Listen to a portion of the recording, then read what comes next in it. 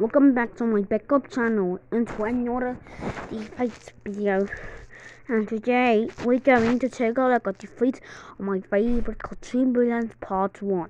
Today's villains are Master Frown from Unikitty, Griff Funny from Gravity Falls, Lord Betrayus from Pac-Man and the Ghostly Adventures, Thunder from the Lion Guard, The Roll Returns, Terrance from Foster Home, The Hacker from Cyberchase, the uh, Serge Watson from Slash Gumball Zero clone from the Amazing World of Gumball, Blackfire slash Starfire sister from Teen Titans Go.